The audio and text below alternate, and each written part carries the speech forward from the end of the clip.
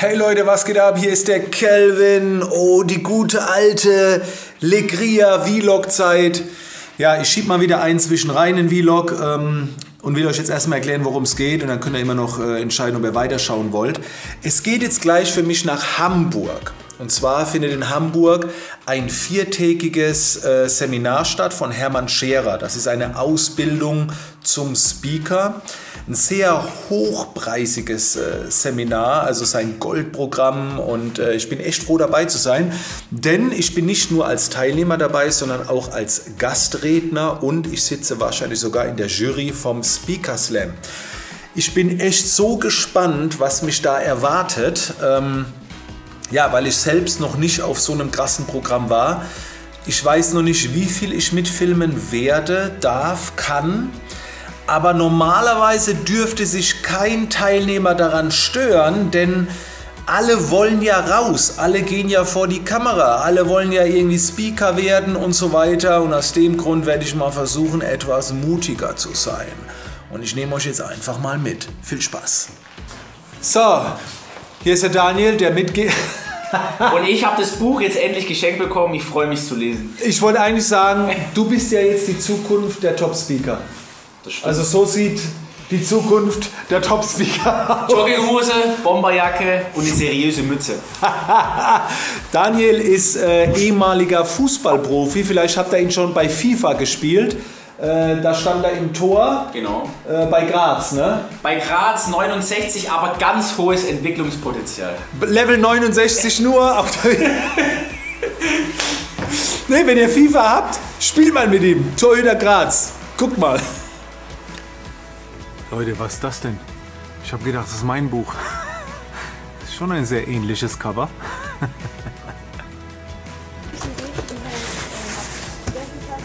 Oh, erste Klasse Hollywood. Es läuft bei Ihnen. Leute, ich habe mir gerade zwei Wasserflaschen geholt in so einer Tüte und mir war es unangenehm, so ins Hotel reinzugehen und er so, komm, ich nehm's. Ich sehe eh aus wie ein Penner. Aber morgens sieht er viel geiler aus wie ich, 100 Prozent.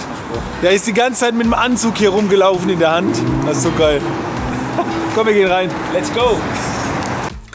Wer von euch erinnert sich an das YouTube-Video, wo mein Team gefragt wurde, was ich jeden Tag äh, so im Kühlschrank habe? Ich zeige euch jetzt mal meinen Hotelkühlschrank. Achtung. Geflügel, Geflügelmortadella, Mandelmilch, Eiweißbrot. Einen schönen guten Morgen, Freunde. Es ist jetzt 11.23 Uhr. Ja, ich habe gut ausgeschlafen, habe nochmal äh, meinen Vortrag, äh, bin nochmal durchgegangen und äh, ja, bin jetzt im Prinzip top vorbereitet, habe noch ein bisschen recherchiert, wer alles äh, da sein wird von meinen ganzen Kollegen. Und in einer halben Stunde geht es dann mal runter, da ist dann Einlass, um 13 Uhr geht es dann langsam los. Und ich bin echt gespannt und freue mich mega auf die nächsten Tage. Und ich nehme euch weiterhin mit. Tja, Freunde, wie so oft war ich äh, wieder als einer der ersten überhaupt an der Location. Das mache ich aber immer. Ich will immer so ein bisschen Atmosphäre schnuppern, nochmal schauen, die Technik, äh, wie sind die Räumlichkeiten, wie ist das Licht, wie ist der Ton, die Präsentation rübergezogen. Ich finde es einfach enorm wichtig. Äh, und das ist es auch wert, mal früher anzureisen, früher zu kommen. Also das ist die Kulisse. Und da vorne werde ich äh, später sprechen. Juhu! So Leute, ich äh, war hier gerade beim Essen, hat mich Benjamin angesprochen, der auch Fotograf ist und sich jetzt eine fette Kamera geholt hat und deswegen nebenbei noch shoppen geht. Das ist eine geile Einstellung, weißt du, wenn du, wenn du für dein Zeug richtig schuftest. Und er jetzt gefragt, ob ich mir seine Bilder anschaue. Und ich habe gesagt, du kommst in mein Vlog, ich schaue mir jetzt seine Bilder an und gebe ihm Feedback. Geiler Deal, oder? Benjamin. So Freunde, jetzt haben wir inzwischen schon 22.12 Uhr und die machen noch mal eine kurze Pause, bevor es dann eine Live-Schaltung nach Kanada gibt. 22.12 Uhr. Also die Veranstaltung ist mega geil und es sind ja noch viele Tage, aber ich gehe jetzt pennen. Das ist schon... Ich brauche einfach meinen Schlaf. Weil morgen geht es ja auch noch mal so lang und übermorgen und überübermorgen auch noch mal. Ähm, ja, mein Vortrag fand ich gut, hat unheimlich viel Spaß gemacht, ganz oft Zwischenapplaus. Aber wie gesagt, jetzt geht's pennen, 22.12 Uhr, ich bin schon über meiner Zeit. So Freunde, schaut mal, ich bin hier mit Janis McDavid. Jannis, sagt mir nur mal einer, es gibt Ausreden, es ist zu weit oder sonst irgendwas. Janis, du hast deinen Platz vorne in der ersten Reihe, ne? Absolut. Ich, ja. äh, das hat dir sehr gefallen?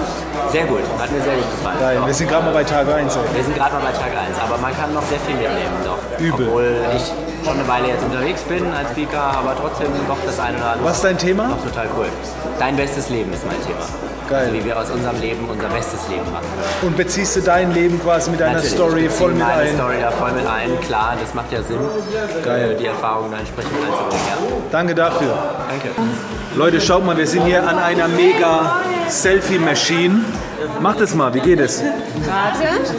Also, ich mache das jetzt zu. Ach, du hast ein GIF gemacht. Foto Genau. müssen wir machen. So, jetzt. Gut, jetzt. Warte, warte, warte, so.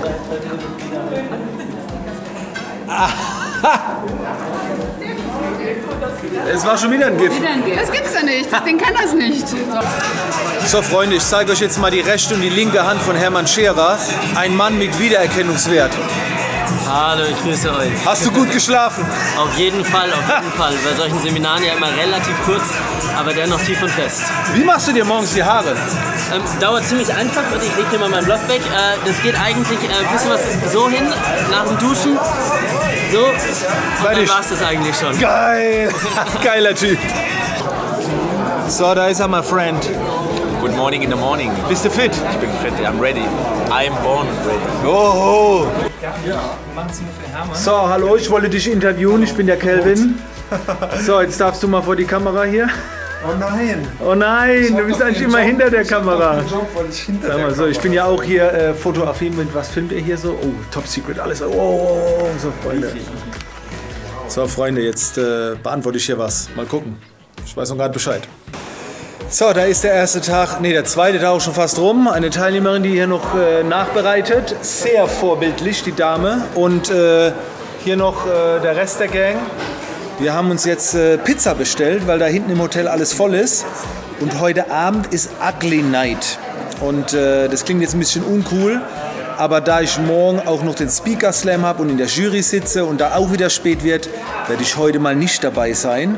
Weil Ugly Night, das ist nicht so ganz mein. Mm, und äh, ja, gehe ich heute früh ins Bett. Aber erstmal meine Pizza. Cheat Day. Einen schönen guten Morgen, Freunde. Tag 3. Ja, ich muss ganz ehrlich sagen, das ist schon anstrengend. Äh, Ich bin ja jetzt, wie gesagt, hier geblieben, um das alles selbst auch äh, mitnehmen zu können und ähm, habe das schon lange nicht mehr mitgemacht. So von morgens 9 Uhr bis 22 Uhr Input, Input, Input. Äh, Ich bin ja immer nur Output gewohnt. Aber ich habe so viel mitgenommen schon. Also das ist sehr, sehr inspirierend und Hermann Scherer gehört für mich definitiv zur absoluten Benchmark. Also es gibt so viele Speaker da draußen, auf deren Seminare man geht, die alle bei Hermann Scherer waren. Und deswegen lerne ich gerne direkt von der Quelle, ähm, was viele vielleicht auch nicht wussten, dass er äh, bei Dale Carnegie Trainer war. Dale Carnegie ist natürlich auch äh, ein Name, äh, den man so kennt. Ja, mein Workflow ist völlig am Arsch, also mein Tagesablauf. äh, Ich freue mich da auch wieder auf zu Hause, dass ich da wieder einen Rhythmus drin habe. Ich merke gerade, wie der mir fehlt. Ähm, Ja, und heute, Tag 3, werde ich definitiv nicht vor Mitternacht ins Bett kommen, denn heute Abend ist ein Speaker Slam. Ein Speaker Slam bedeutet, äh, ich glaube, 60 Teilnehmer werden fünf Minuten lang präsentieren vor einer Jury.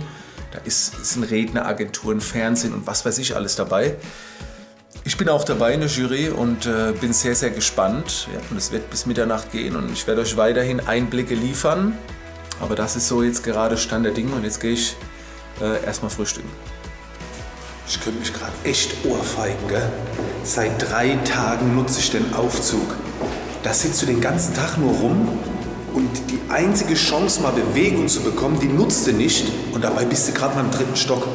Ich könnte kotzen, ohne, ohne Witz. Also, Leute, Treppe nehmen ist wirklich der einfachste Sport, den man machen kann. Ah, jetzt erst, Alter, fällt mir das ein an Tag 3. So, Tag 3. Du bist immer noch unter den Lebenden. Heute, lebe noch, ja. heute Abend Speaker Slam, ne? Heute Abend ist es soweit, ich freue mich, wird Zeit, Ja. dass wir mal loslegen können. Ne? Ja, ich sitze in der Jury, ne? Was machst du jetzt für mich? Ja, das haben wir schon geregelt. Kinderriegel, Kinderriegel, Die Käsekuchen. Schein- Also die lilanen Scheinen fließen in den Hintergrund. Oh. Das werden wir schon machen. Sag nur mal rein, was du gerade sagen wolltest. Sag nur mal. Höhe, Höhepunkt von Kelvin Hollywood in der gesamten Veranstaltung bei diesem Goldkurs. Dieses Treffen hier in diesem Moment mit. Frank Schopp. Ja, das war mein Highlight heute. Genau.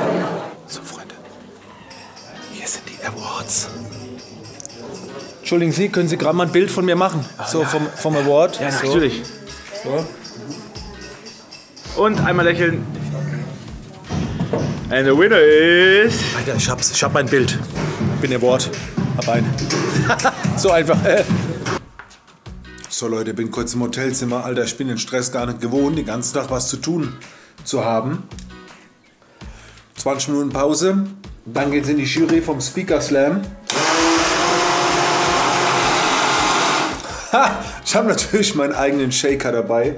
Äh, Proviantnahrung, weil einfach keine Zeit ist zu fressen. Das ist unglaublich. Also dieser, dieser positive Stress, das ist was ganz Ungewohntes. So, der Seminarraum wurde jetzt relativ fix umgestaltet. Schaut mal, hier sitzt dann so die Jury. Da vorne wird alles aufgebaut. Kamerateams. Alter, rasend fix. Also äh, ich bin echt froh, dass ich auf der Seite sitze. Das ist schon Druck, was da jetzt aufgebaut wird. Bin mal gespannt hier. Oh. So Freunde, ich fange jetzt einfach mal ein paar Stimmen ein. Wie ist die Nervosität? Bei mir unvorstellbar oben, also ganz weit oben. Du machst doch jetzt was hier, ne? nein, ich bin genau wie du, äh, ich sitze neben dir. Ah, er ist in der Jury. Übrigens, Leute, ist der Hammer, ja. Er ist auch Fotograf, also ich ja nicht mehr so extrem. Hat eine Agentur in LA jetzt. Sag mal ein paar Namen, für wen du fotografiert hast. Oh wow, das ist äh, äh, Joe Germani, äh, ähm, L'Oreal, Maybelline, Estee Lauder, MAC, äh, Chanel, für die Vogue. Der ist so brutal. Und dann sagt er mir vorhin plötzlich, dass er mit meinem Zeug gelernt hat und es eingesetzt hat. Weißt du, da ist ein krasserer Fotograf wie ich. Ich wäre gern so krass wie er, ist aber viel krasser, viel, viel krasser. nein, ich bin einfach nur ein Coach. Du bist ein Fotograf. So, die Jury hat sich entschieden mit nach, also es war ein Kampf, ne? Also wir haben uns geprügelt und äh, ja. Oh, oh, oh, oh. abzuschließen, bevor wir zur Siegerehrung kommen. oh. Wir haben abgestimmt. Wir haben abgestimmt. Ich glaube letztendlich.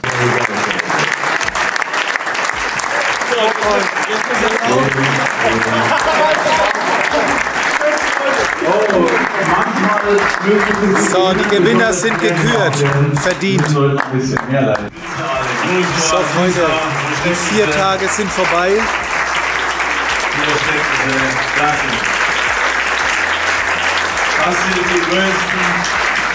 Standing Ovation für Hermann Scherer und sein Team. Es war der Hammer. So, wir sind jetzt auch schon wieder auf dem Heimweg. Hier mein Bodyguard. Hitman. Hitman. Ist alles sehr laut hier. Jetzt werde ich auch immer empfindlicher für das Ganze. Jetzt freue ich mich echt auf zu Hause auf die Ruhe. Warte mal, da ist ein Food Court. Da können wir reingehen. So. So, Freunde, bevor ich jetzt den äh, Vlog beende, habe ich vielleicht noch ein paar Gedanken für euch. Und zwar werde ich immer wieder mal gefragt, wie ich das mache, wenn ich so lange von der Familie weg bin und so weiter. Ist es nicht, nicht ein bisschen heftig? Also ein paar Gedanken dazu. Zuerst einmal, ähm, meine Frau hat mich so kennengelernt. Ne? Als ich beim Militär noch war, war es so, da war ich noch häufiger weg. Und jetzt gerade so die letzten Monate und vielleicht auch die letzten ein, zwei Jahre bin ich gar nicht mehr so oft unterwegs. Aber, und jetzt kommt's, wenn ich unterwegs bin, dann bin ich 100% unterwegs. Das bedeutet, ich mache das jetzt nicht so, wie es viele machen, wenn sie weg sind von der Familie, dass die abends FaceTime machen, mit ihren Kindern quatschen, Skype und so weiter. Das ist auch mit meiner Frau mehr oder weniger so abgesprochen oder wir wissen das. Wenn ich unterwegs bin, dann gibt es abends mal vielleicht mal ganz kurz auf WhatsApp, gute Nacht, bis morgen, vermisst dich, aber mehr auch nicht. Das heißt, ich kann das nicht. Ähm, wenn ich jetzt abends FaceTime machen würde, dann würde ich heim wollen, hätte ich keinen Bock mehr. So. Dann würde mir meine Familie voll fehlen. Und wenn ich unterwegs bin, dann stürze ich mich halt voll rein, so, ne? so in die Arbeit, voller Fokus äh, und so weiter. Ähm, das muss man können oder das will nicht jeder so machen, aber ich mache das eben so. Das ist das Erste, was ich mache, damit es mir nicht so schwer fällt, wenn ich von der Familie weg bin. So wie jetzt. Ich labe jetzt wieder über meine Familie und jetzt denke ich einfach, ich will heim. Ne? Weil ich halt bei meinem Kopf bei der Familie ist. Aber das versuche ich halt komplett, wenn ich unterwegs bin, mich voll in die Arbeit zu stürzen. Meine Frau weiß auch Bescheid und so weiter. Ähm, und dann, jedes Mal, wenn ich gehe, ja, also wenn ich jetzt zum Beispiel weiß, ich bin jetzt vier Tage weg, dann sage ich nicht bis in einer Woche, sondern ich gehe so, wie wenn ich gleich wieder zurückkommen würde. Also ich sage immer bis gleich. Auch wenn ich eine Woche weg bin, sage ich zu meiner Familie, also bis später. Ja, um mehr reinzuballern, ist doch gar nicht lange. Ja, das ist auch noch etwas, was ich tue. ja, jetzt war ich vier, fünf Tage unterwegs und jetzt auf dem Heimweg, äh, wenn so die Ruhe reinkommt, denke ich, oh Mann, ich will nur noch heim. Und dann so zu Hause, kurz bevor es die Wohnung reingeht, das kennt ihr, wie wenn ihr so, äh, scheiß Vergleich, wenn ihr aufs Klo müsst und je knapper es wird, umso heftiger, aber ihr wisst schon.